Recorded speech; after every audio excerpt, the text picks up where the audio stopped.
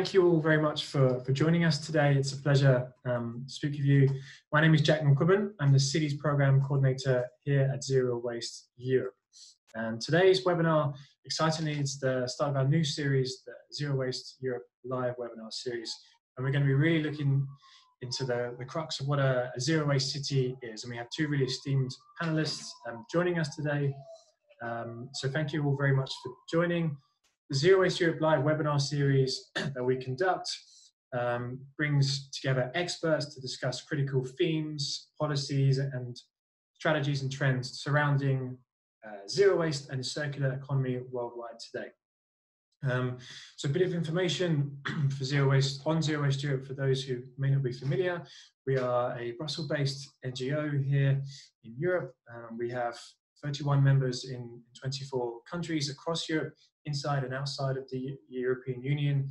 And we're really working towards uh, the vision of a European society that um, sort of protects um, the, the, value of resources and keeps them within the circular economy here, um, reducing, preventing waste and sort of ensuring that no harmful chemicals uh, released sent to landfill or burned away um, to the environment that will harm human health. So Yes, today's webinar, like I said, it's going to be on what is a zero waste city.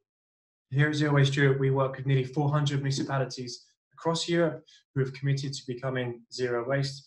Um, our role is to not only push for ambitious waste legislation uh, in, by the European Union, but we really support grassroots, um, grassroots-led local level action to implement these policies on the ground.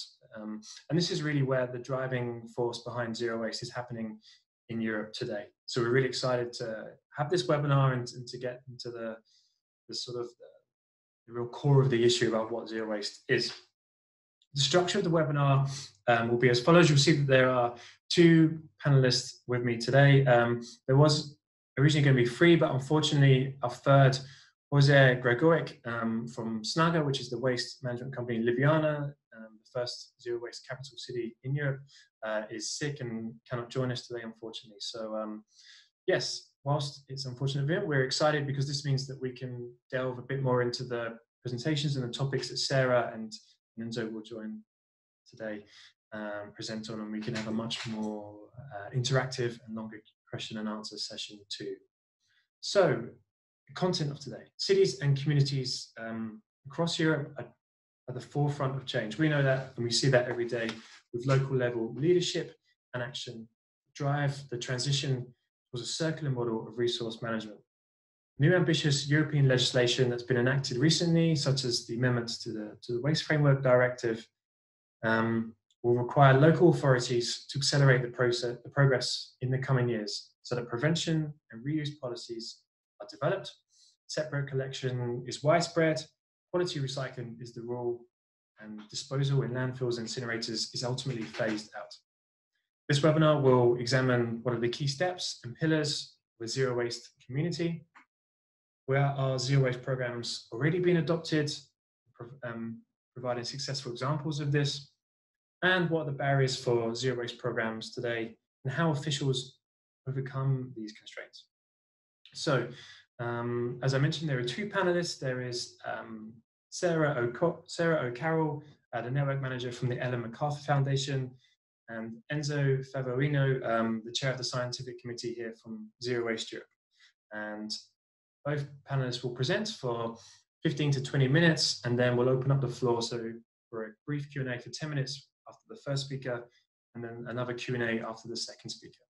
You'll see um, as attendees, at the bottom of your Zoom webinar chat box, there is a Q&A function. to submit direct questions for the panelists, please type them into this box here. Um, but you'll also see there is a chat separate to this where um, we will be providing links and sort of further background information and context to the points that the panelists are making. Um, and in the Q&A session, uh, I will pick the, the Q&A, the questions that are posed via this function and present them to the panelists after their presentation. Uh, finally, a special mention um, today because we have exciting uh, live connection with Vilnius Gedimino Technical University uh, in Vilnius, in Lithuania, um, who are doing a live screening of this. So hello to everyone there, and special thank you to um, Chasavicius, um, the director of Zero Waste Lithuania, and as well Dr. Alsa Zygmuntien. And apologies um, if I pronounce that wrong, it's my British accent, but uh, yeah, the, the head of the Faculty of Environmental Engineering at the university. So a special hello to, to you guys, and of course, uh, a big thank you for all you attendees for, for joining us today. So without further ado, let me introduce uh, Enzo as our first speaker. Um, Enzo Favoino um, is the chair of the scientific committee here at Zero Waste Europe. He's a technical expert and researcher now let me get this right, Enzo, the Scuola Agraria del Parco de Monza. And that's awful, I apologize. Um, you have decades of experience in the separate waste collection, recycling, composting, and prevention. Enzo is an expert in EU waste legislation and is highly knowledgeable in the field of European policy making. He's one of the founders of the European Compost Network, and as I mentioned, the chair of the scientific committee um, of Zero Waste Europe, and also coordinator of the scientific committee Zero Waste Research Centre in Italy as well. So, Enzo, we're extremely excited um, to have you here. Thank you for joining us, and the floor is now yours. My pleasure, and thanks uh, for inviting me to facilitate this webinar as well. Um, there's one more thing I'd like to add on top of what you said about myself. I like to define myself as we zero wasters like to define ourselves, always happy and never satisfied. Uh, zero waste is all uh, about keeping ambition, setting the bar higher and higher, uh, celebrating the results of what you have already achieved, but already plan for uh, further improvements in the future. So um, I would say there are a few challenging questions I will not sidestep because first of all we have to discuss what is the zero waste methodology, how does it work in, uh, in cities, and uh, above all, does it deliver? What are the possible achievements? Is there anything that may be considered as best practice coming from zero waste programs, zero waste schemes, which are implemented locally? and we will address them uh, uh, in a consistent way. Uh, long story short, this is zero waste, the vision, the global role. But basically, to cut a long story short, I would say that zero waste is all about retaining the value of resources and materials in the loop. So, uh, as such, it blends perfectly the vision, the spirit of circular economy, uh, basically, with circular economy, we are shifting from the take, make, waste towards a model in which we try to keep the materials in their highest and best status for as long as possible. And as such, basically, zero waste uh, is a uh, is a recipe which is made of uh, many components uh, which address the different possibilities to deal with materials and resources in order to retain the value we all love butterflies. This was borrowed by the Ellen MacArthur Foundation, by the way. We have got the, the, the guest speaker today from Ellen MacArthur Foundation. This was a very successful diagram which shows whatever we may do with the biological cycle of materials and the technological cycle of materials. And zero waste basically keeps them all in the system, trying to minimize what we call the leakages of materials from the system basically landfilling and incineration are both considered as leakages of materials from the system. We have already got, as you mentioned, some 400 municipalities across Europe which already committed to a zero waste program. Uh, for the moment, we have got particular strongholds in a few countries such as Slovenia, Spain, Italy, Wales. We are moving eastward with uh, early pilot schemes in Romania, in Bulgaria, one of the main cities in Bulgaria just adopted a formal zero waste commitments. Um, and uh, what defines a zero waste uh, municipality, a zero waste community, is to adopt a formal zero waste commitment, which has to be made of solid and verifiable, measurable operational steps, and above all, a commitment to keep improving, always happy and never satisfied. Even when you are at 90%, we have got quite a few municipalities already at 90% separate collection, but they are already planning how to get to 95 and then 96 uh, because there are still a few precious steps towards perfection. Um, this is a long story. It started back in 2007 in Capannori. Capannori is a not a small village, a mid-sized municipality totaling 45,000 people. Uh, in, based in central Italy, in Tuscany, uh, near Lucca. Uh, this is uh, Rossano Ercolini. Uh, he was awarded the Goldman Prize in 2013 for environmental activism, and he's the president of Zero Waste Europe, by the way. And Capannori took its steps with a, a formal commitment towards zero waste, and ever since it has been improving introducing curbside collection, separating the organics, introducing pay as you throw, working on reuse centers, uh, promoting uh, reduction and prevention measures, and so on and so forth. For the moment, Capannori, you know, basically the average production of municipal solid waste by the average European is some 500 kilograms per inhabitant and year. And Capannori today is at 65 kilograms per inhabitant and year, residual waste still requiring disposal. Uh, but they have also promoted a zero waste families program in order to promote zero waste lifestyles. And the families have got an average of three kilograms per inhabitant in year. So this all tells us how much spoilage of resources we still do have in our society and how much, how long we may go in our road to perfection. This is another incredible, outstanding example, our zero waste champion district based in northeastern Italy, Contarina, the province Treviso, which is totaling a population of 1 million inhabitants. So not as a restricted situation, not a small uh, area. Uh, it's uh, uh 55 municipalities, and this is the reduction of uh, uh, residual waste in time in last 15 years. They are already around 50 kilograms per inhabitant in year, but above all, they have got a midterm goal of further reducing residual waste by 80% by 2023. So they want to go down to 10 kilograms per inhabitant and year by 2023. Uh, but how does the work program work? So how can uh, utopia be turned into reality? Uh, basically, this is the basic zero waste work program, and they, these are the cornerstones of the formal commitment we require from the zero waste municipalities.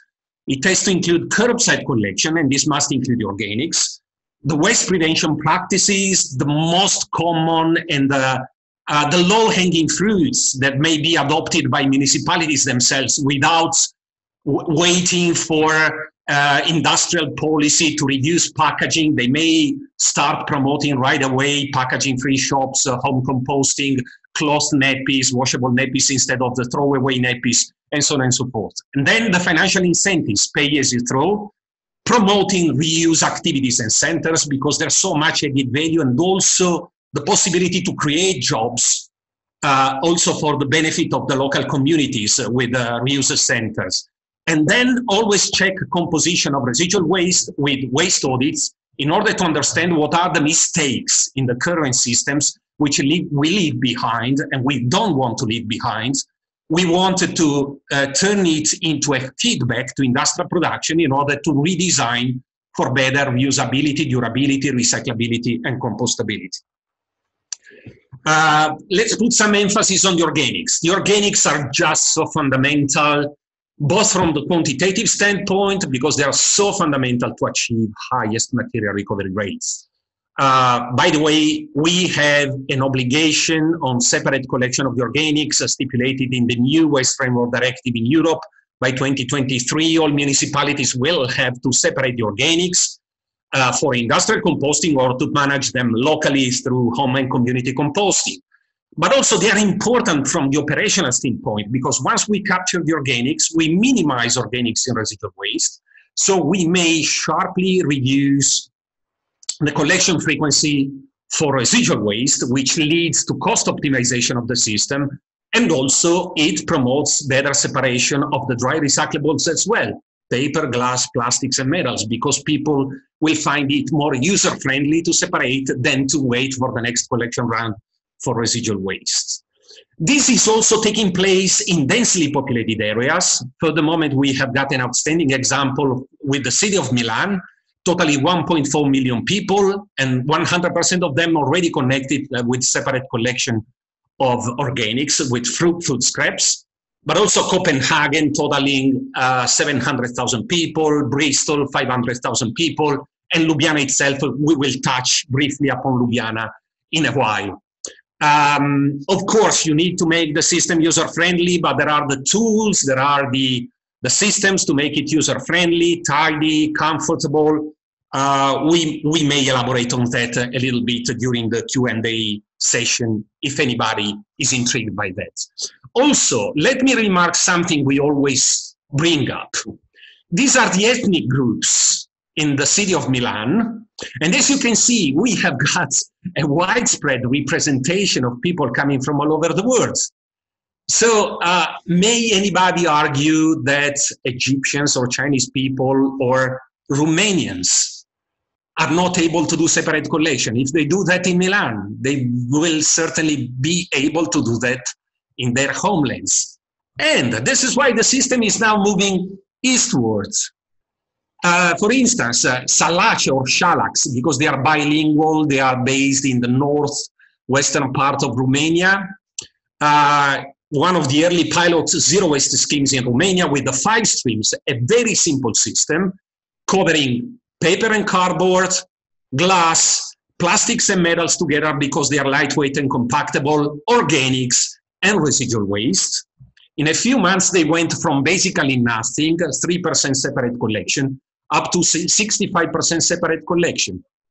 So this shows the potential of zero waste programs in a much shorter time than building heavy infrastructure to reduce reliance on landfills. Se uh, separate collection, recycling, and zero waste programs do the job, really do the job. Okay, waste reduction initiatives, let's go towards the end. Never forget about promoting uh, tap water. This is good practice, which is becoming quite widespread uh, in many areas of Southern Europe, the water houses to get people used back to using uh, tap water because they forgot. Uh, there's a huge use of bottled water, which in most situations doesn't make sense at all because tap water is perfectly uh, good in quality, drinkable, and so on. Promoting the closed, the washable nappies. Uh, I will go back to that in a while, and making the waste audits on uh, residual waste through the analysis of uh, residual waste, we get an outstanding amount of information on what are the next steps we have to implement. And this is the key methodological um, step iteration and improvement, continued improvement on what you do, assessing, testing, verifying what is left behind and what you need to address to, uh, uh, uh, to uh, insert further improvement in your system. For instance, you may find out that there's an increasing amount of coffee capsules in, uh, in your system. And of course, we try to promote more a different way of brewing coffee uh, through the old mocha systems without the capsules. But we accept the challenges of modern life, and in the offices they use the coffee capsules. So you may convince the coffee makers to make the coffee capsules recyclable or compostable.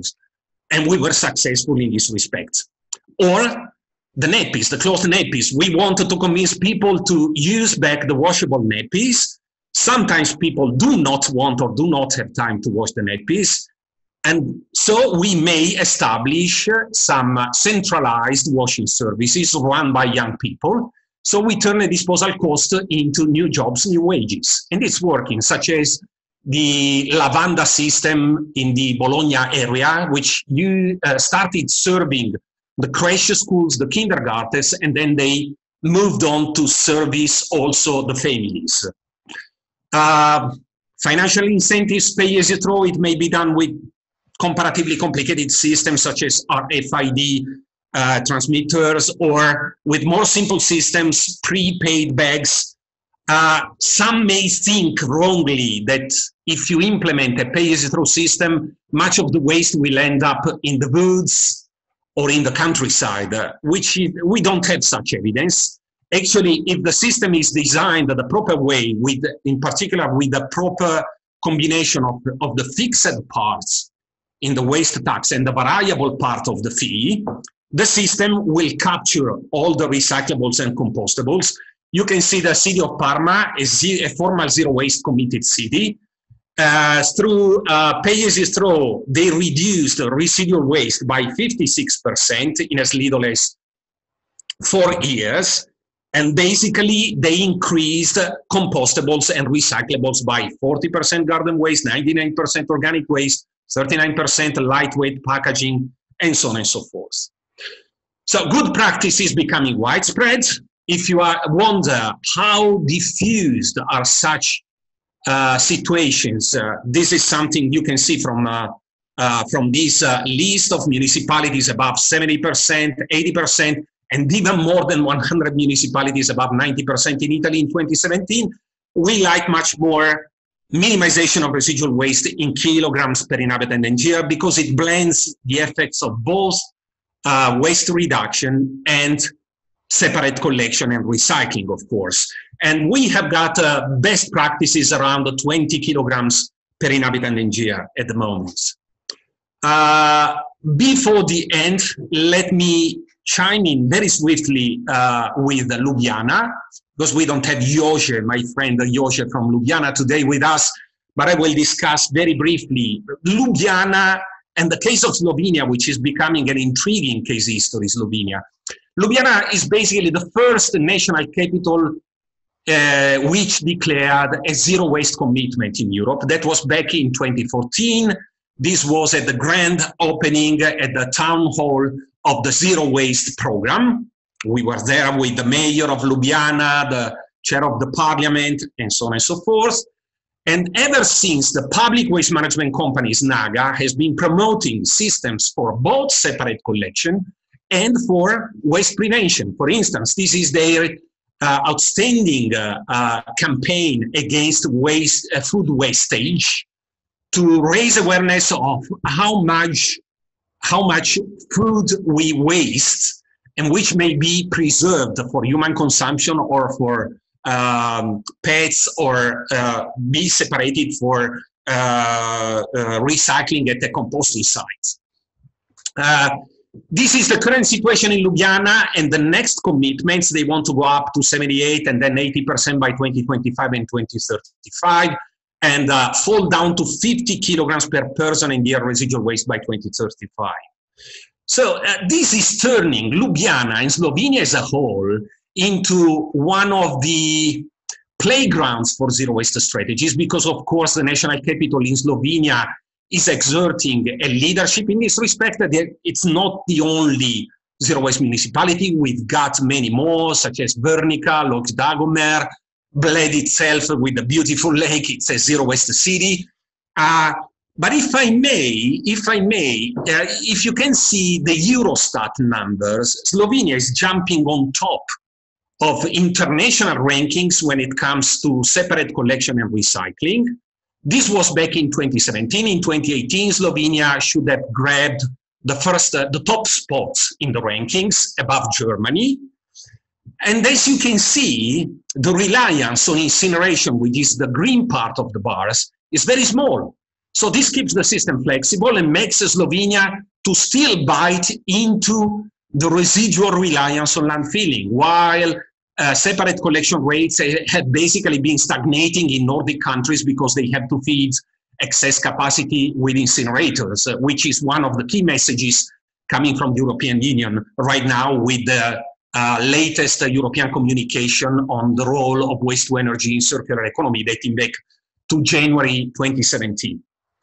So, uh, best things come last. This is a comparison we always uh, uh, share with people to discuss the effect of zero waste in terms of minimization of landfills. On the one hand, we compare a typical Danish district producing some 780 kilograms per person in year municipal solid waste. 52% is incinerated, which makes a staggering amount of more than 400 kilograms per inhabitant in year uh, waste being incinerated. And this produces more than 100 kilograms per inhabitant in years, legs, and issues.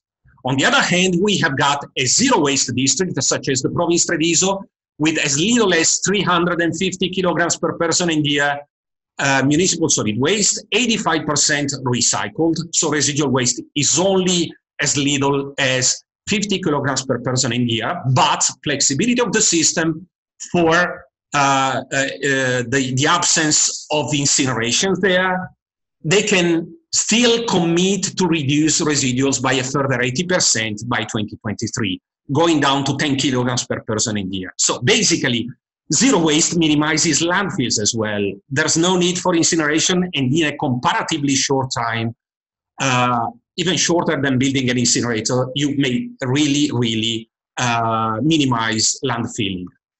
Uh, also, never forget that zero waste programs do not imply an increase in costs. This was the effect of transformation towards zero waste and curbside systems in the city of Treviso, the province capital. They, had, they went up to 85% separate collection. They reduced by a few euros per inhabitant in year uh, the cost which is transferred to taxpayers. But the icing on the cake was the increased amount of jobs. 26 more people working on sustainable waste management. And that's the best part uh, in the system, I think. So thank you very much for your attention, but always be confident and always remember the only difference between utopia and reality is political will. You will do that. You will do that. Thank you very much. Amazing. Thanks so much, Enzo. That's great. Really um, informative and interesting examples as well. So, yeah, we really appreciate you taking the time to run us through those examples. And we have a number of questions actually that we'll get straight to, um, if that's okay. And there are a couple, I'll group them together um, from Marianne and one from an anonymous attendee. Uh, talking about, yes, it's great. And as you mentioned, recycling rates have increased and separate collection rates have increased in many countries specific, um, specifically in Italy and beyond the examples that you mentioned. But what about waste um, sort of levels itself? Have these questions ask whether um, zero waste policies have actually led to a reduction in the amount, the volume of waste that's being generated? Uh, yes, indeed. Uh, um, basically, we we always detect a potential of reduction, which is uh, around between 10 and 20 percent right away. Uh, just shifting to curbside collection puts emphasis on the individual responsibility and above all it keeps off the system improper delivery of industrial waste in the big dumpsters. Uh, as, as, long as you keep the dumpsters permanently on the roads, you can make campaigns, you can exert as much control as you want on the system, but uh, overnight there will be much industrial waste being delivered in the dumpsters. So collection at the doorstep by itself tends to cut municipal solid waste by 10 to 20%. Then there is a further effect of the waste reduction and prevention practices I mentioned. I touched briefly upon them uh, uh, during my presentation. Of course, I only discussed those ones who, which are in the remit of the municipalities, because there's many more we may do uh, through industrial policy, for instance, promoting less packaging. This is far beyond the possibility of municipalities. But municipalities can start, for instance, promoting uh, uh, packaging-free shops, uh, for instance, through uh, codified taxation, promoting um, those activities which minimize waste. I mentioned home composting and community composting, even though please be aware that in the near future, home and community composting will be counted as recycling in Europe and not as waste prevention anymore. This was the only way to keep together the potential effect of home composting and industrial composting.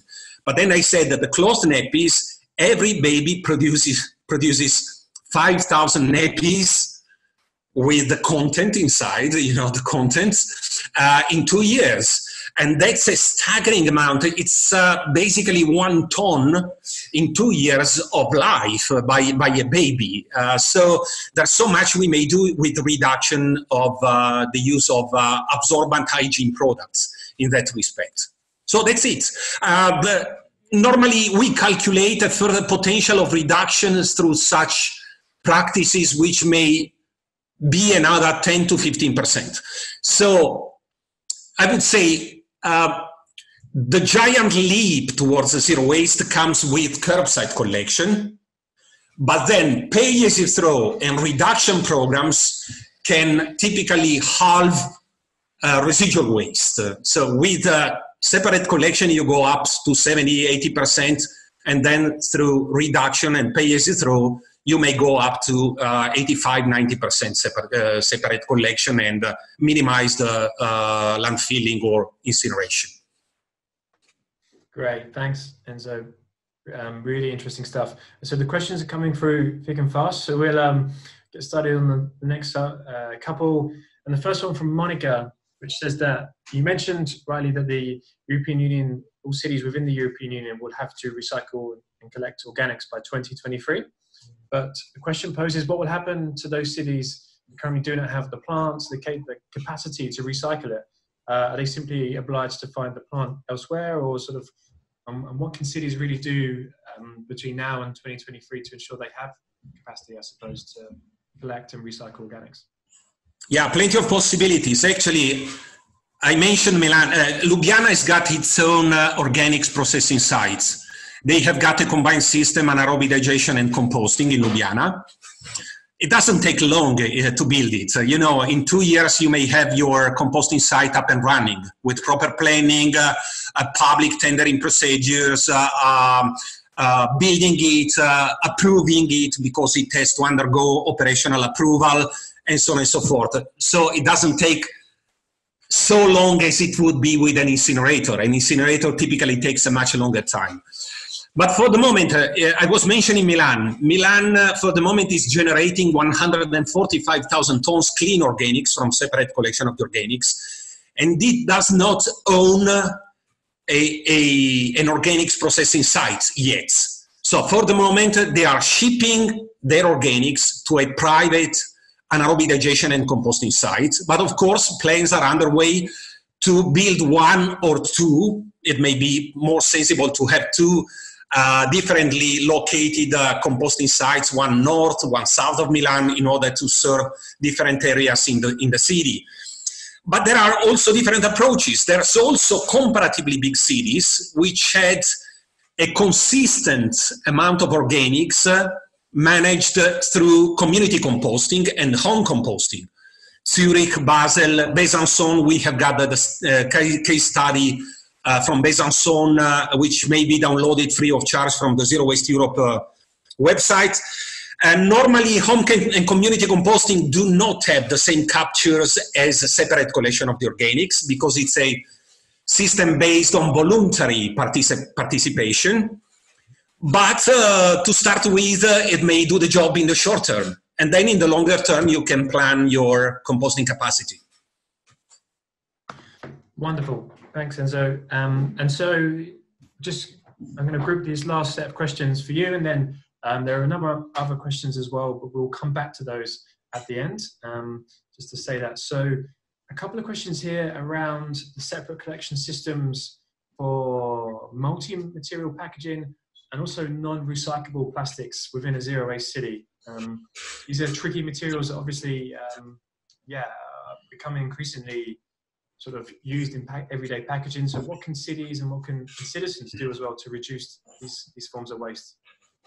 Yeah, indeed, this is a very good question. Um, multi-material collection first. Uh, this is becoming a problem uh, where multi-material collection is still much diffused. This is a typical problem in North American conditions. In the United States and Canada, multi-material collection is the typical approach to separate collection of packaging waste.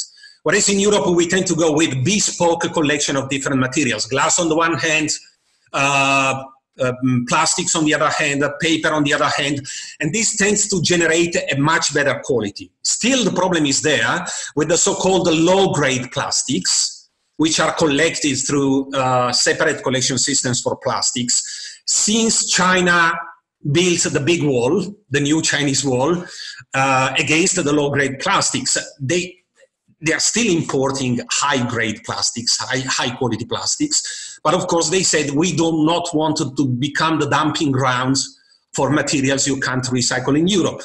But Europe is fully aware of that. And in the European plastic strategy, the European Commission themselves, they're not environmentalists, you know, they are basically conservative uh, political profiles, but they are fully aware of the intrinsic responsibilities coming from the circular economy agenda. And they said, if we discuss circular economy, we have to build the needed infrastructure here.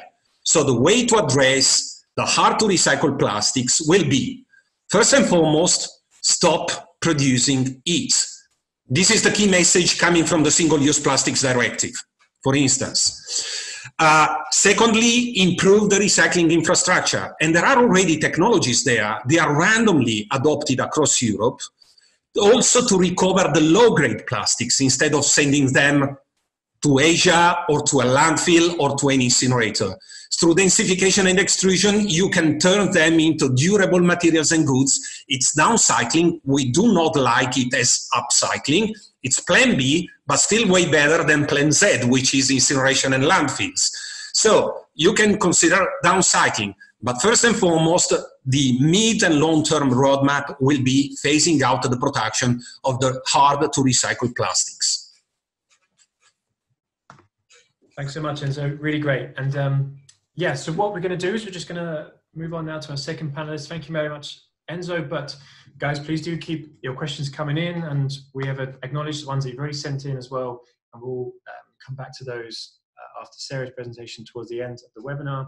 And just to, to reiterate again, um, both both presentations will share via email um, after the webinar in the next couple of days. So yeah, if you have questions on the specifics um, regarding what was in Enzo's presentation or what will be in Sarah's, you will have these via email, so don't, don't worry. And again, the information that Enzo has mentioned on, on Ljubljana, on um, Contarina, Capannori, um, we have these case studies of best practices on our Zero Waste Cities website, um, which we can, the link is on the chat box, but we can share, of course, again. Um, and also we have lots more information on the Zero Waste Europe website, such as the unfolding of the, the SUP, the Single Use Plastics Directive, um, if you want to know exactly what that means for local municipalities. So um, I will hand the floor now to Sarah O'Carroll, oh, Carroll, sorry, for the Network Manager for Institutions, Governments and Cities um, at the Ellen MacArthur Foundation. I'm really excited to have Sarah today. Sarah holds a BSc in Engineering and Chemical Engineering from the University of Cape Town She's experienced manager with lots of experience working in the green and circular economy. In particular, she's extremely passionate about job creation and the development of sustainable cities in Africa, cities that are really low carbon, resource efficient, and socially inclusive as well. Um, so, Enzo, I asked you, uh, if that's okay, to stop sharing your screen and, and hopefully we can use um, see Sarah's presentation now as well. So um, yeah, Sarah, I will hand the floor over to you. Perfect.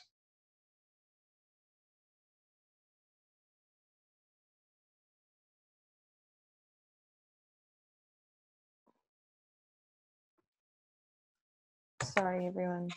No problem, Sarah. That's yeah, perfect. Be...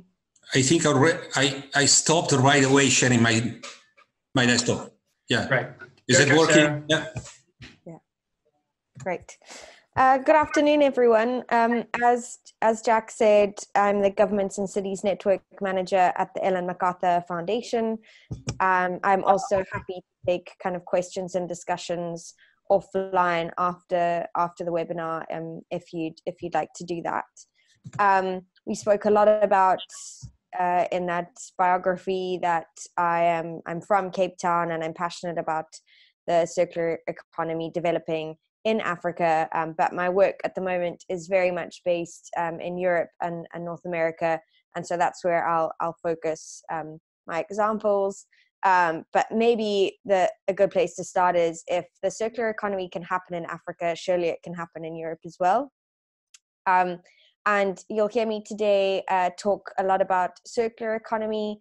Uh, zero waste is is part of the circular economy, so I'm not going to talk about zero waste cities as much as circular cities.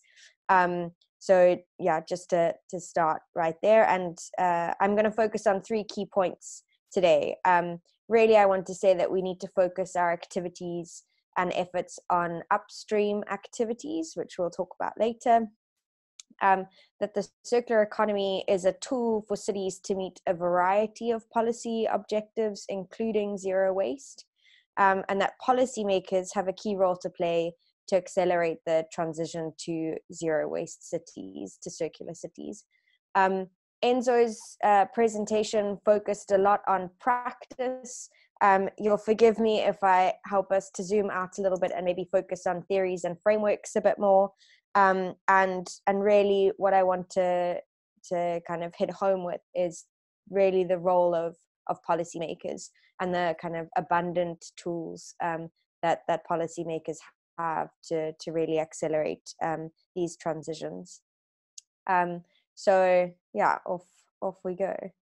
Um, so Enzo touched on this as well, so I'm not going to spend too much time here. But really, what I want to say at the Ellen MacArthur Foundation is that we focus on transitioning this linear economy to that extracts natural resources to make products, of which 90% become waste, to a circular economy. And that circular economy is based on three principles. The first is designing out waste and pollution from the system keeping products and materials in use for as long as possible at the highest value possible, and regenerating natural systems. Um, cities currently represent 75% of global resource consumption and account for 50% of global solid waste production. So we definitely need to focus efforts on developing, developing integrated high efficiency waste management systems so that we stop leakage into the environment. Um, but we also really need to focus our attention on solving the real problem, not just the symptoms of it. Um, and and so therefore, the three key priorities for zero waste cities should be designing waste and pollution out of that system, keeping products and materials in use and maintaining their value, and regenerating natural systems in and around cities.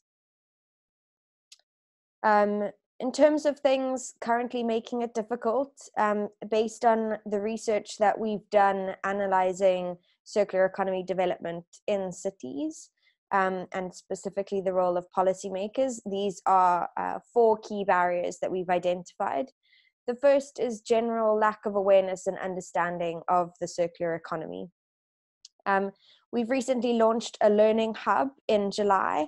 That's a free resource uh, to anyone that uh, wants to do self paced learning on the circular economy.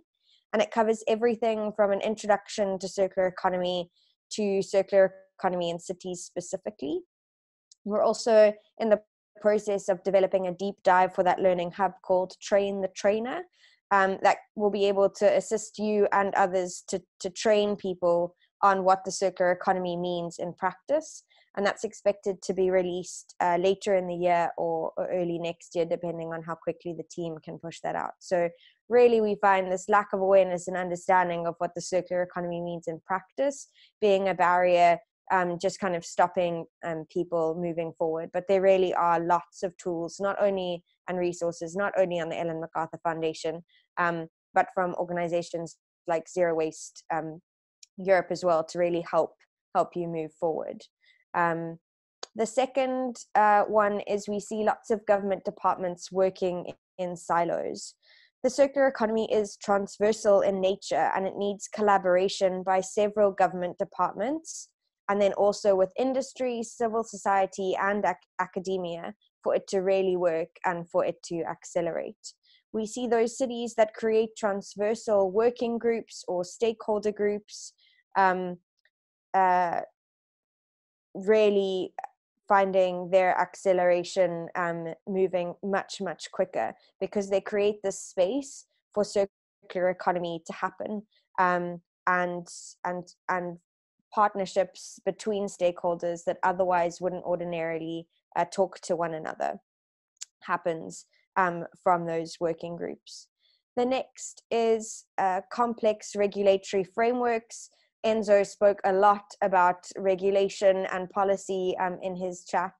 Um, and actually, we find at, at the city level, because cities are governed not only by their city bylaws, but also by regional regulation and national regulation, that it, this can make uh, regulation itself really difficult uh, for business um, and for entrepreneurs to navigate, which stops entrepreneurs and and business moving forward with uh, zero waste and circular economy strategies.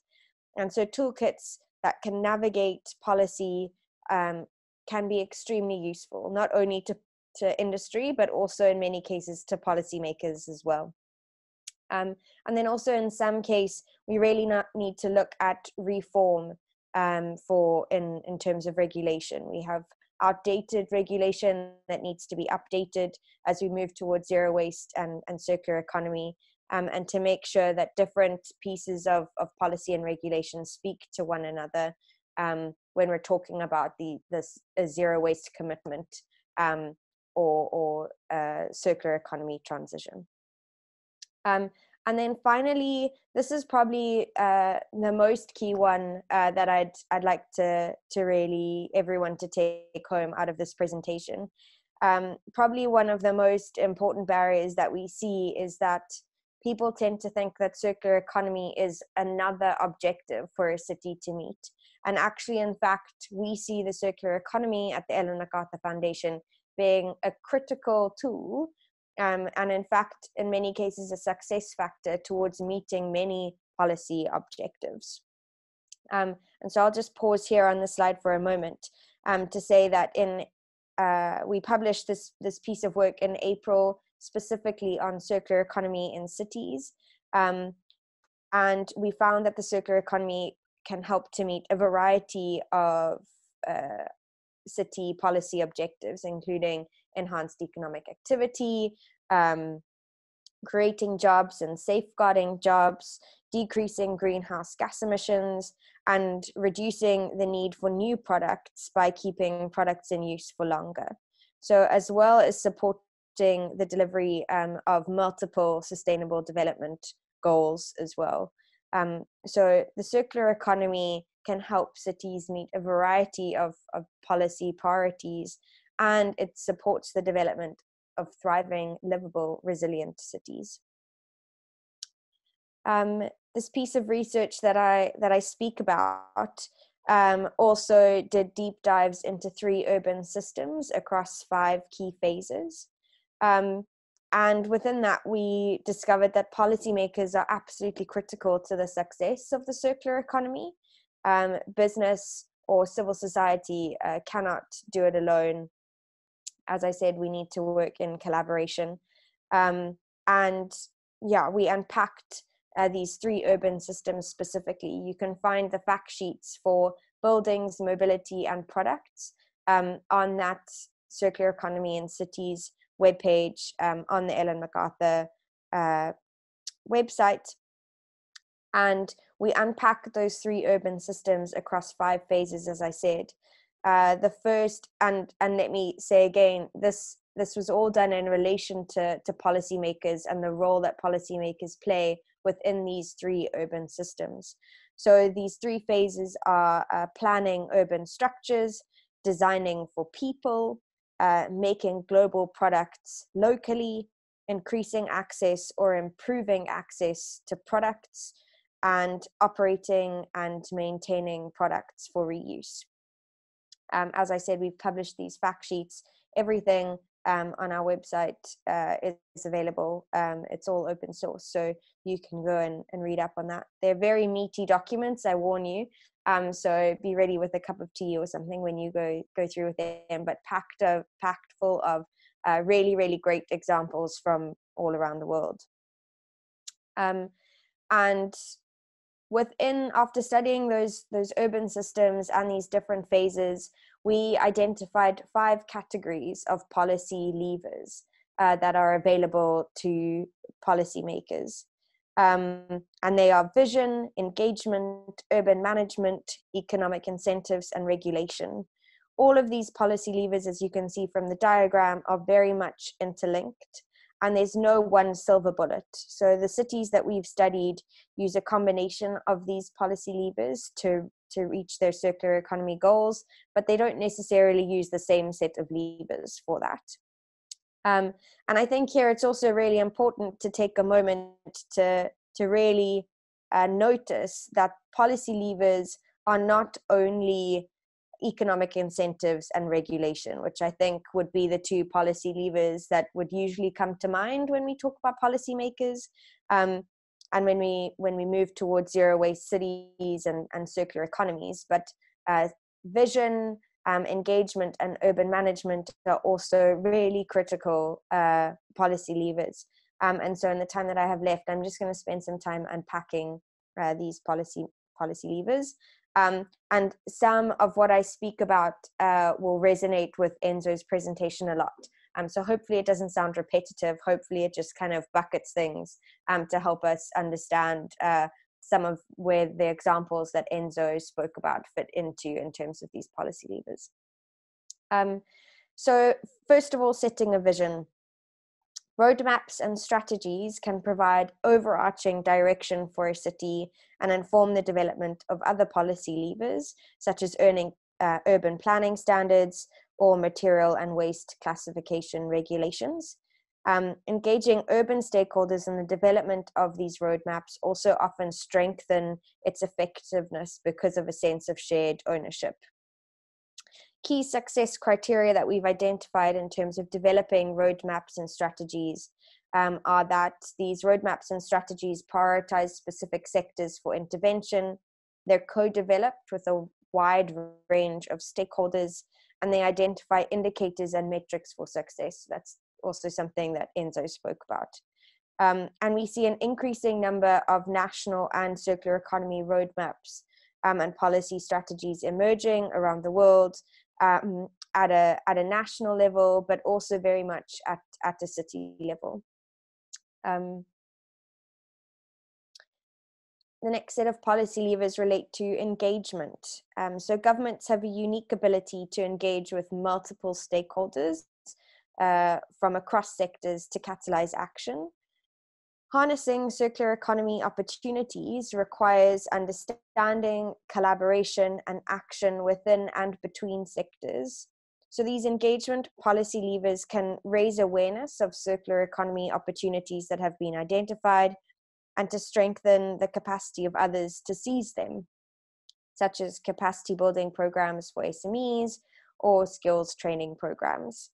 Convening and engaging with stakeholders in a variety of ways can also support the design and application of other policy levers, as I said, such as creating a sense of uh, shared ownership over the roadmap, working with businesses to identify specific regulatory barriers in the city. Um, and I also alluded to this earlier that convening uh, these stakeholders often leads to collaborations and partnerships that might not otherwise have emerged. Um, across all the case studies that we've analyzed, uh, they all have this policy lever group in common. Um, so, a key success factor to each of the case studies uh, that that we have researched um, is convening and partnering, awareness raising, and or capacity building activities. This is a soft set of policy levers that bring people together to, to around a collective goal um, to to collaborate and really are the foundations we think of of the success of a circular economy transition. The next uh, group is urban management. So city governments have a strong influence over the physical development of a city and as well as the procurement um, and management of its assets and as well as uh, the procurement and management of assets uh, for the public. So these policy levers are urban planning, asset management, and public procurement, and each relates strongly to the choice, uh, design, use, and flow of materials in a city, uh, making them key to the transition to a circular economy.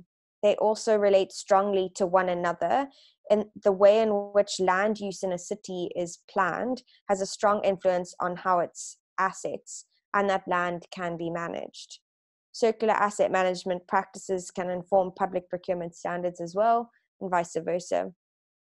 Um, as with other levers, urban management levers are not self contained and can be guided by circular economy strategies and regulation and involve a lot of collaboration between government departments in particular to make this uh, set of urban uh, management policy levers work. Um, and they usually benefit from economic incentives. Um, so economic incentives along with regulation are probably one of the most common set of policy levers that we think about when it comes to mind uh, about what policymakers can do. Financial support and fiscal measures can both incentivize circular economy activities. Financial support can help foster innovation and new markets, and fiscal measures um, like taxes, uh, penalties, and charges can incentivize or discourage behaviors and the degree of autonomies that cities have varies greatly. Um, and these uh, levers are often developed with higher tiers of government. But I will say here that um, we have found that a significant number of, of cities uh, really do have uh, pull when it comes to developing um, new new new regulations and also uh, setting in, in place new bylaws themselves uh, for a vision um, that they want to see. Um, in fact, 57 of public investment is at the local or regional level. Um, and although regional variances um, are significant, I think that's a really important number. Um, and we've also seen tax reductions um, put into place to uh, introduce or re, um, re incentivize sharing, recycling, or repair activities. And then finally, regulation, most common of all policy levers. Um, and really, this is a core domain of government, particularly at national level. Um, but we found, as I said in the previous slide, 25% of metropolitan governance bodies can impose binding regulations and they play an important role in shaping markets, influencing behavior, and removing barriers. They can also reinforce and support other levers, um, like regulations regarding housing density or affordability linking to urban planning decisions. So, policymakers can play a role in shaping bylaws that stimulate circular economy practices, reviewing and updating existing bylaws, um, that speaks to something that I said earlier about regulatory reform being needed to be able to advance um, this new economy. Um, and they can also use bans to prohibit the circulation of linear goods. Um, so I will I will stop there and take some some questions, and hopefully uh, that will provide an opportunity to talk about some case study examples um, in particular. Great. Sorry. Thanks so much, Sarah. That's really uh, interesting and useful, and I think complements Enzo's presentations really well. So um, thank you so much. And as you mentioned, now's a exciting opportunity to open it up to the floor and to have questions from everyone else here. And we have a number of questions already lined up. But um, yeah, to everyone listening in and participating, please do remember to send questions that you might have through the Q&A uh, box at the bottom of the screen there. So Sarah, this one is specifically um, mentioned for you, and then we'll open up and bring Enzo back in. Uh, this is from Ant Igbokan, um, and it, for you, Sarah, how do we, how do you think we can overcome the established systems um, where so many people, so many companies, businesses, uh, decision makers usually um, have like a vested interest in keeping the current the status quo, this linear system. And so examples that Anna's mentioned here is the oil giants continuing to make plastic for single-use packaging, councils that have committed to send a certain amount of volume for landfill incineration, and the, the need for companies to continue to sell new phones, new cars, etc. So, yeah, a, a, question, quite a, um, a sort of a, a, tough question for you, Sarah. But uh, yeah, how do you think we can, cities and, and citizens, themselves can help overcome um, the sort of the status quo at the moment? I think uh, the the first thing to say there is uh, working at the Ellen MacArthur Foundation. Uh, I think I'm lucky in the sense that I see the things that uh, big business is doing all the time uh, to work towards uh, zero waste and, and the circular economy and the commitments that they've made. So you could take uh, the new plastics economy global commitment as an example of that, that we have governments and businesses around the world committed to a new plastics economy, um, an economy uh, that phases out problematic and unnecessary uh, plastic items, where reuse is prioritized, where 100% of plastic on the market is reusable, recyclable, compostable in some form, um, and where we decouple this, the finite use of resources like oil um, from our economies. So I think uh, just thinking about the the global commitment and the fact that so many governments and businesses have signed up to a commitment which is not just saying uh, I'm going to reduce my uh, plastic in my company by 50% or, or something like that, but it's a commitment where they promise to measure their progress over time, and I think that's that's what's really important. Um, and and we're seeing at the moment as we move to a new global commitment uh, progress report that companies and governments are making progress towards that. I think um, also as part of that question, I think um, and things that you alluded to, like uh, send, still having commitments to send waste to landfill and still being dependent on these resources, is that uh, I think we need to remember that we're working with a global complex system. And we were talking about this the other day at work, where we have been building this linear economy uh, for about 100 years.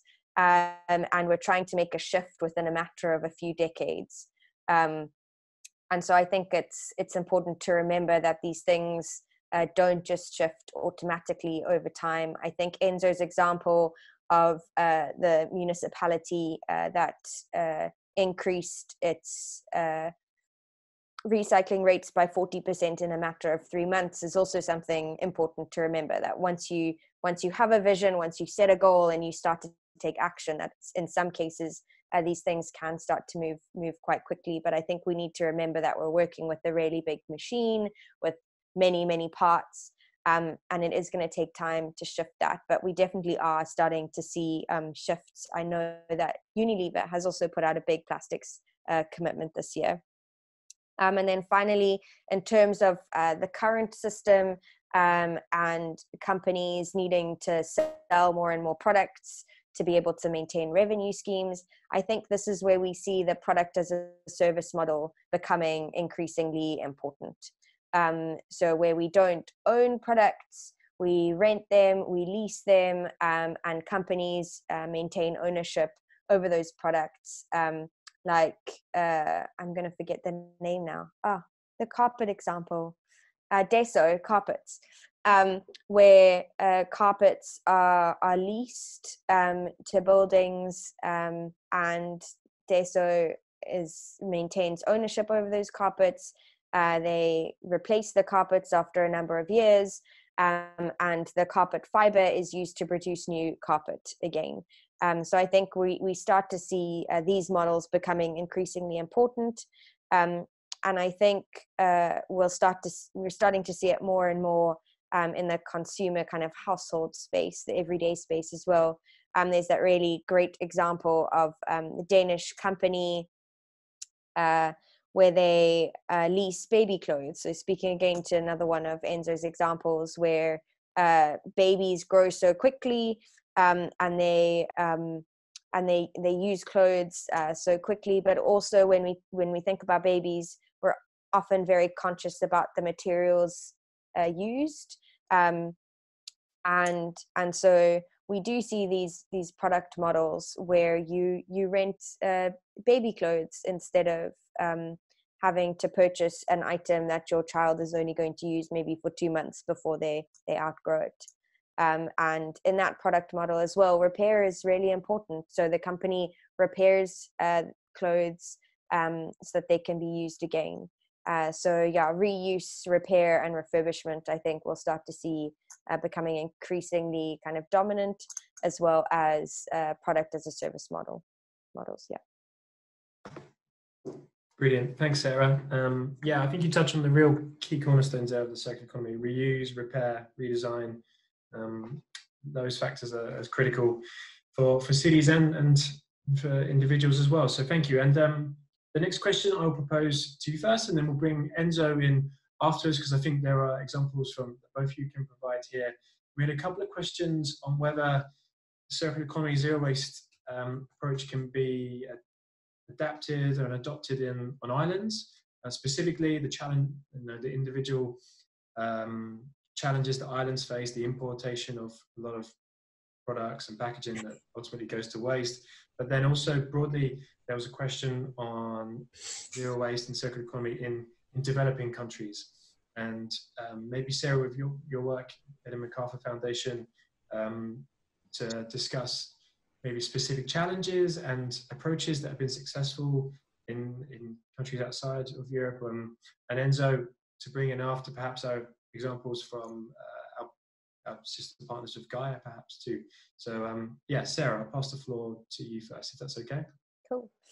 Um, we we definitely this is definitely possible in, in island states. I think we could say that actually it's imperative for island states because of their proximity to the ocean that we need to, you know, rapidly stop leakage um, from the environment and zero waste is absolutely critical to that, just like a circular economy. But I think uh, to keep my answer short here, I think it really speaks to the need to design out materials from the system that are problematic. Um, so that those island states don't have to deal with them. I think at the moment we see with these problematic materials that incineration or chemical recycling are kind of really the only options, um, along with landfill for those. Um, and they're uh, usually really expensive um, and they require large economies of scale for them to work, um, which makes that really, really difficult for an island state. Um, and so, yeah, I think that this is definitely a case where we, we need to talk about uh, why why those materials are on the market uh, to begin with. Um, and I think their uh, like eco design policies and uh, extended producer responsibility are absolutely critical as well to make that work. Um, and in terms of developing economies, uh, we have a lot of work at the moment going on in Latin America and China um, at the foundation um, and we're also starting to, to increase our, our work in Africa um, over time.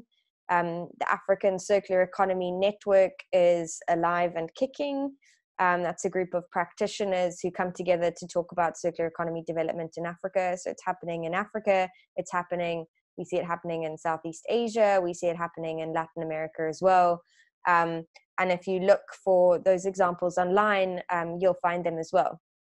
Um, so um, there's a, a, lovely example actually that I'll take the time to share now since I have the floor um, uh, about uh, Belo Horizonte in, in Brazil. It's a city um, and the city there has worked to develop uh, IT equipment refurbishing um, and repair. Um, basically, the, the city works to uh, refurbish uh, computer equipment they do that by providing people uh, with the skills development opportunity so they have these kind of repair hubs and the repaired uh, computer and it equipment goes into uh, like computer uh, cafes or or libraries uh, for the public to be able to access uh, that equipment which otherwise might be too expensive for them to be able to access on a on a day-to-day basis um, so I think that's a really nice example in a in a developing country of the circular economy at work for public benefit. Um, that yeah provides a skills development opportunity and and keeps uh, electronic equipment in use uh, for for for as long as possible. Great, thanks, Sarah. That's really really useful and interesting. And just to say, um, we have shared some of the links to the documents that you've mentioned here, the Belo Horizonte case study, uh, the Carpe Elysium project, which you mentioned before in the presentation as well. So they're just in the chat box. Should um, should uh, attendees want to click on that and find out more information. And Enzo, I'll pass uh, the floor to you to discuss those questions around zero waste, circular economy being practically adopted in developing economies and island states as well. Yeah, thanks. Um, I already shared uh, a few replies in written in the Q&A box. Anyway, for the benefit of the, of the wider audience. Certainly, circular economy is becoming a buzzword everywhere around the world because you know it's not just the homage to the environmentalist uh, mindset. It is a it is a, a, the best way to um, to to cause efficiency in the production system because on the one hand you will extract uh, less primary raw materials on the other hand you will reduce uh, the need for disposal and this implies savings uh, circular economy and zero waste uh, they were formerly used in the industrial sector in order to maximize efficiency in the industrial production by toyota xerox uh, many many big uh, corporate industries however uh, if we discuss more in specific zero waste programs, yeah, in, in Southern Eastern Asia, there's plenty. Some are in their early steps. Above all, I think that uh, most mature situations are in the Philippines. For instance, I mentioned in the chat box uh, the city of San Fernando, which totals a population of 300,000 people, and they are at 80% separate collection. Of course, in those situations, there is a pivotal importance of decentralized management of organics because they can't wait for an industrial composting site to be built and run, and the informal recycling sector as well, which is also another, it, it gets another key message across about livelihoods that people can make out uh, of zero waste programs, and that's extremely important. Well, concerning islands, uh, uh, we we worked back in 2001 with the Minister of Environment over here in Italy because we have got quite a few small islands here, not as many as the Greek islands, but anyway, quite a high number. And uh, there is some evidence that in islands, uh, given the cost of shipping anything uh, to and from the mainland, uh, anything should be made circular, as circular as possible. So uh, one pivotal issue is, is uh, uh, on-site composting. In particular, since normally the small islands do not have paper mills, you may consider co-composting paper and organics. So you would not need garden waste. As most of the islands are in tropical uh, uh, situations. so it, it, it doesn't make much sense to cut wood in order to have bulking agents for your composting processes. But paper and cardboard may be a perfect replacement for garden waste in that respect. Um, of course, uh, much relates to the procurement procedures. If you had to import food from mainland, of course, procurement has to pave its way to have it as, uh, with as little packaging as possible, of course. So it's up to the local decision makers uh, to be to have a careful management of the procurement in that respect. Great, thank you, Enzo, and thank you, Sarah, for those responses. So we have um, about 10 to 15 minutes left uh, this webinar, so we'll just get through a couple of these last questions here that have been proposed, and um, one from Christina Saris here uh, around more waste um, examples of waste reduction initiatives. And um, yeah, maybe uh, Sarah, I'll come. I'll come to you first for this, if that's okay, because um, you mentioned uh, complexities that many countries and basically, well exist in many countries because the national, regional, local um, of regulate, regulatory uh, environment. Uh, for those on the call who work at the local level, do you have any examples of, of successful local initiatives that have been um, really impactful in reducing waste. Uh, the work that Ellen MacArthur Foundation does, and also the same question to you, Enzo, afterwards. But um, yeah, Sarah, if you want to take a first go at answering that. Uh, I think you're on mute, Sarah. Sorry. Let me unmute myself. Um, I think a nice example here is Amsterdam working on its sharing economy. Um, so Amsterdam has set a sharing economy uh, vision, um, and they developed this vision by working uh, in collaboration with a large group of stakeholders uh, to decide uh, what, um, yeah, what key kind of sharing economies were needed in the city. Um, I think what's interesting here as well is that they found that the sharing economy was particularly beneficial for older people, um, for older population group um, as well, which I just think is was quite interesting. Um, and so they focused on um, three areas. The first was uh, is uh, renting household items uh, that you wouldn't use all the time, like tools.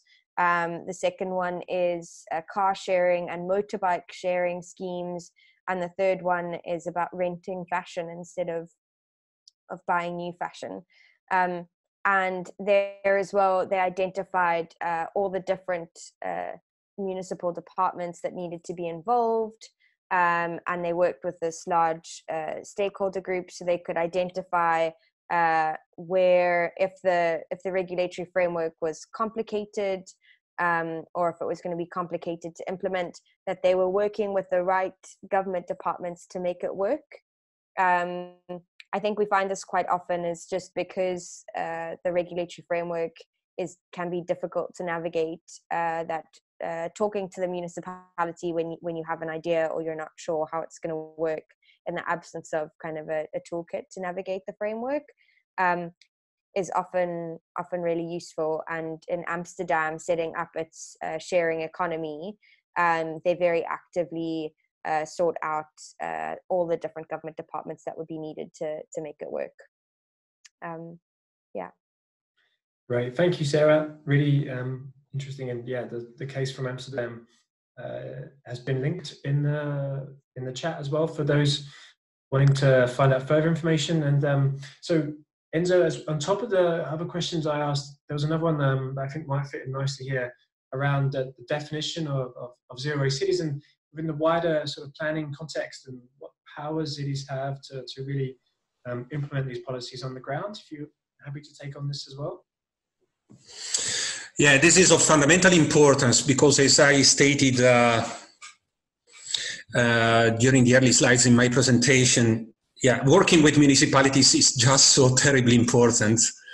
It is important because that's the perfect level at which zero waste strategies and programs may be implemented, since uh, the municipalities may relate both to the political level in order to cause the change in the political framework and to make it possible, but also they can uh, implement educational programs promoting zero waste lifestyles, trigger new zero waste businesses, products as a service, packaging free shops, and so on and so forth.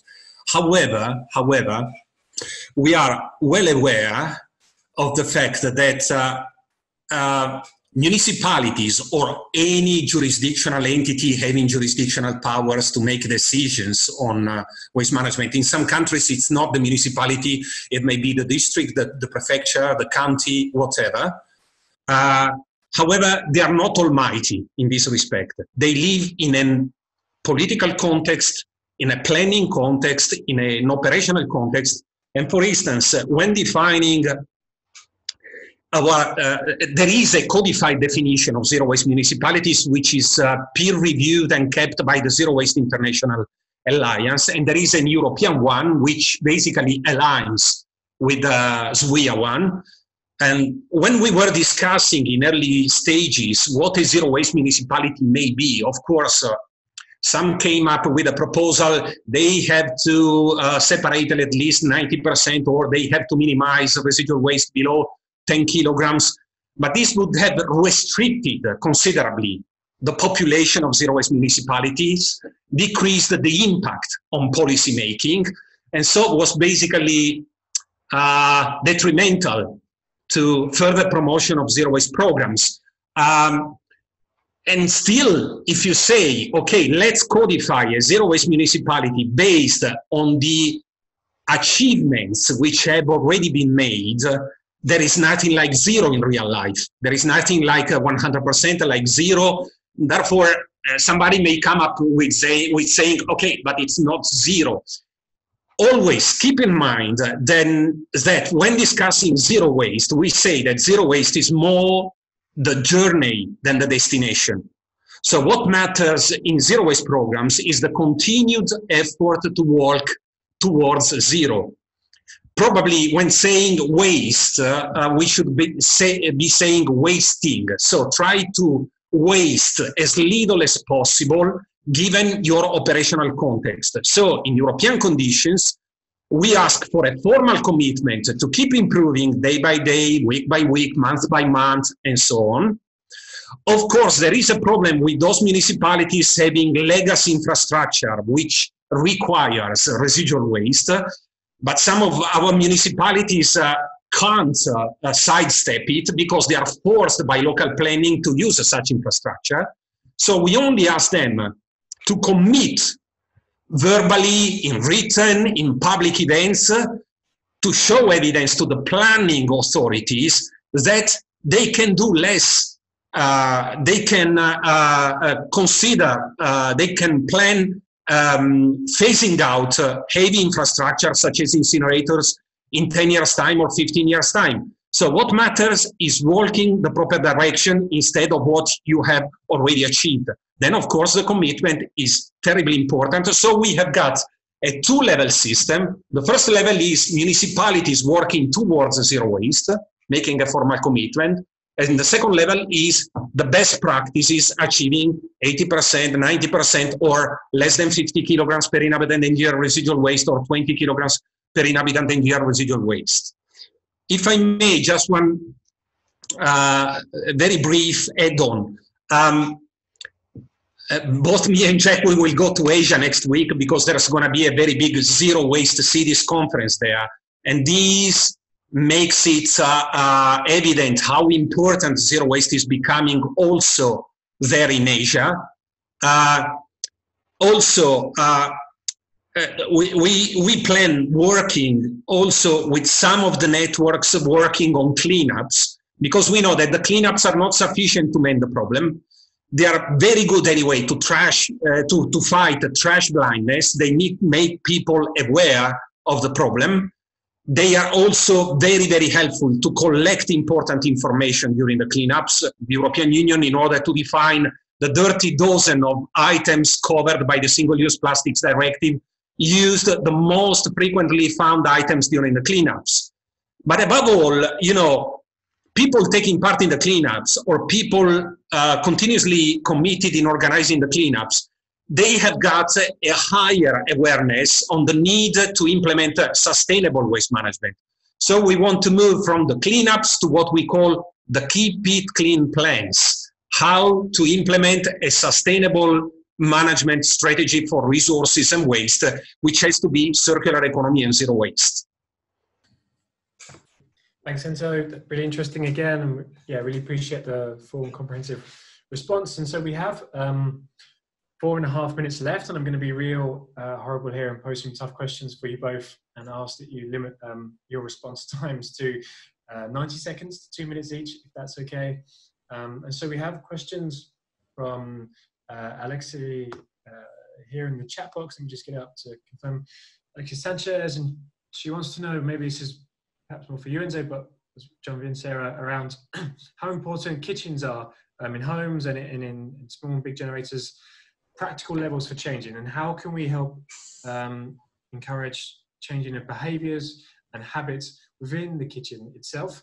And then we also had other questions on if a zero waste city has little incineration um, or waste to energy, how are they making up the shortfall in energy production? So maybe um, we want to address the, waste to energy um, sort of discussion. And then also another topic, which I think maybe Sarah, you could discuss briefly is uh, the circular economy benefits that this brings to um, greenhouse gas reduction, greenhouse gas emissions and a reduction in those perhaps um, as well. So yeah, I'm not quite sure um, who wants to jump in first out of here. Um, but as I mentioned, I'm going to be really horrible limit your answer times to two minutes each, please. That's okay.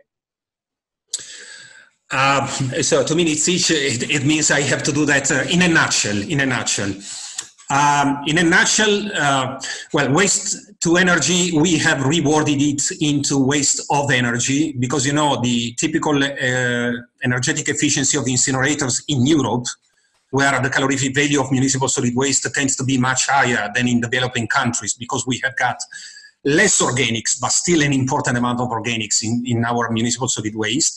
So the calorific value is higher, the energetic efficiency tends to be higher. but electricity only is 20% energetic efficiency. The only way to increase energetic efficiency is to use heat in district heating. But heat doesn't make sense in most of the developing world. And that's the problem with uh, waste to energy, which we reward into waste of energy.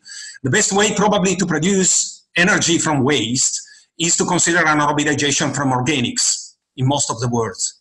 And that's the best way. And still you may consider recycling of paper, recycling of plastics, instead of burning them and uh, losing materials, which would be a leakage from circular economy. I'm not quite sure I understand. It's an intriguing question, the one on kitchens. I know Alexis from uh, since a long time, uh, but I, am, I understand he addresses the organics management in kitchens, and the, that being the case is spot on. I myself uh, uh brought this up the pivotal importance of organics. Indeed, those square meters are the most important in zero waste programs. This is why we get so much focused on uh, organics programs and the need to make the system as comfortable as possible. Uh, in particular, by using the vented kitchen caddies, which tend to make the system uh, user-friendly, tidy, comfortable.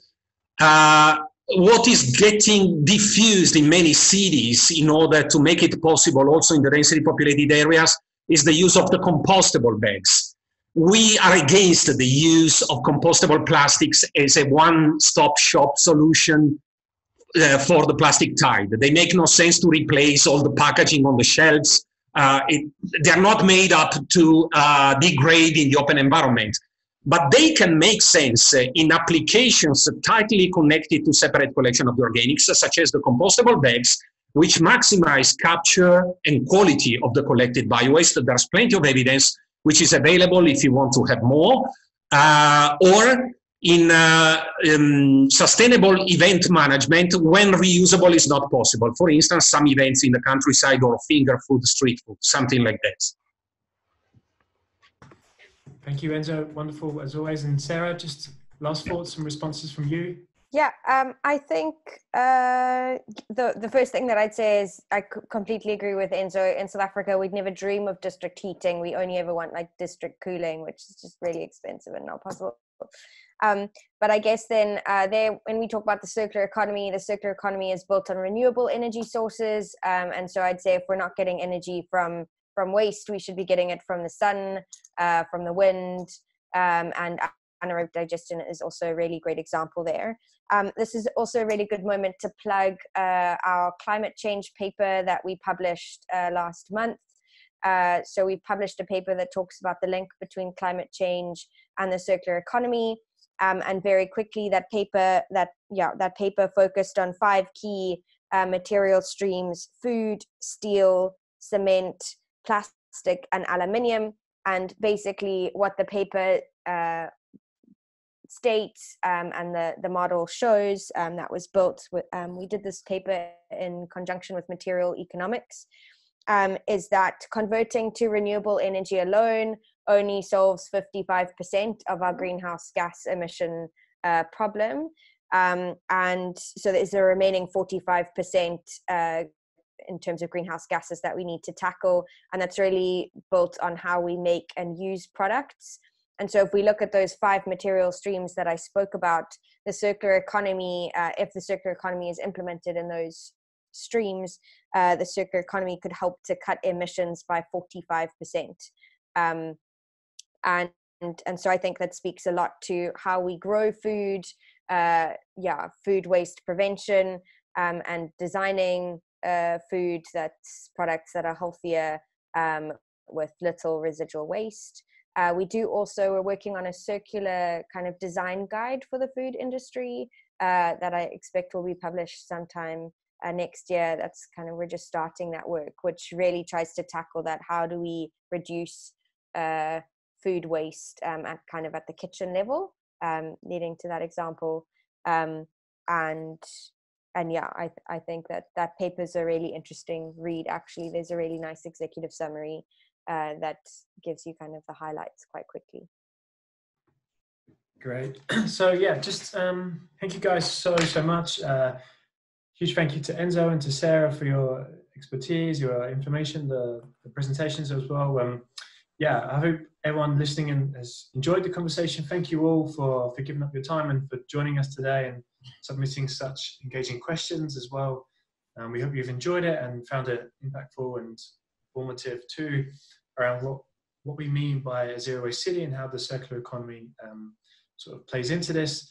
Uh, a couple of last things from us at Zero Waste Europe. Throughout the chat box, um, we've been posting links to the to the points that the speakers have been making. So please do um, review this and use them if you're you want to dig deeper into any of the topics um, that have been discussed here and raised. Uh, Sarah mentioned the topic of chemical recycling in the presentation, um, and that leads us on quite nicely to uh, the next webinar in our series here, um, which will be held on the 12th of November titled Chemical Recycling, What It Is and Does It Fit into the Circular Economy? So, uh, yeah, quite a nice segue there. Thank you very much, Sarah, for that. Um, we hope. That's not what I want to leave like the, my last statement to be, but okay. No, exactly. There are a lot of issues and um, questions that need answering with so yeah. chemical recycling. So, um, yeah, you can find the link to register for that on the zerowastecities.eu website, along with lots of other information around um, how to sign up to our newsletter, um, as well. Those of you um, who are particularly interested, we are hosting a study tour uh, on the 9th to 11th of December um, in some of the cities that Enzo has mentioned in, in Milan and Capannori. If you want to meet Enzo as well, do join us there.